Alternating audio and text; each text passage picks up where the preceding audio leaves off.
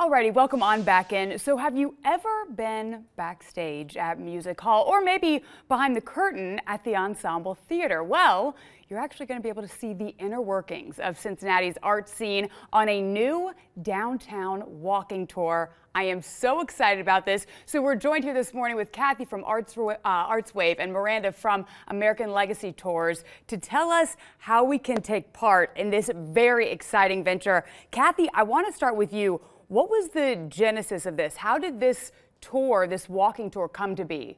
Well, as you know, American Legacy does more tours than anyone in the region. Sure. They do breweries, they do sports, they do haunted tours.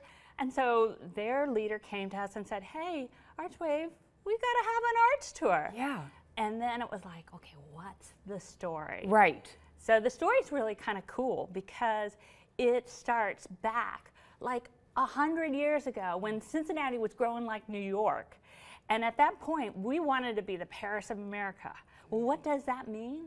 Well, that means we had like some amazing people. The founder of Artswaves, the Tafts, gave their home, but they also like put in some money to say, hey, Cincinnati, fund your arts. And oh, by the way, we'll give you back all that money if it doesn't work. Right. And then we started to build things and we build them big. And so then we have people like Mary Emery, who's working with Anna Sinton Taft, our, our founder. And then we have people like Maria Longworth, Bertha Baur. They're figuring out really creative ways to keep a symphony going, to keep right. an, a wonderful uh, art museum going. Right. And they're doing that creatively. And there's just a lot of stories behind it. I love that it's a, bunch of women as well. Yes. That's fantastic too. And Miranda, so I want to talk to you now about your part in it, right? Because I feel like Cincinnati is always at the top of the list. We see the USA Today and the like, they'll they'll release things saying that, you know, Cincinnati is top 10, right, mm -hmm. in the mm-hmm. nation in terms of those the, keeping the arts alive. So talk to me about how you guys are able to really access that via a walking tour.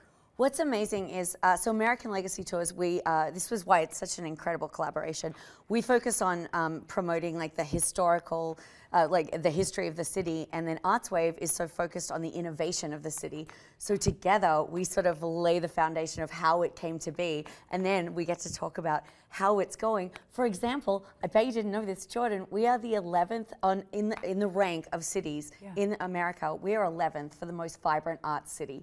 Wow and we're the 30th largest city. Uh, wow. So, I mean, that, yeah. that again, and so, right now we're taking a look at some video of the walking tour itself. Now, we only have like 45 seconds, so I want to punch out where people can figure out more about this when you guys are ho uh, holding these tours as well.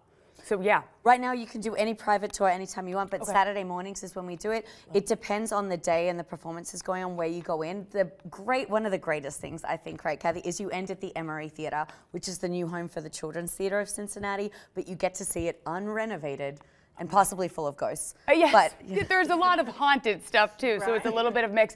Thank you guys so much for coming in. Uh, one more time, where can people find out more information? They can go to the American Legacy site or they okay. can go to the Artswave site for group tours. Either Beautiful. one, you'll get either way and you'll enjoy it. Great Perfect. holiday. Oh, absolutely. Thank you guys so much. We appreciate you and everything that you're doing for the city. Alrighty, we're going to be right back right after this. Stick with us.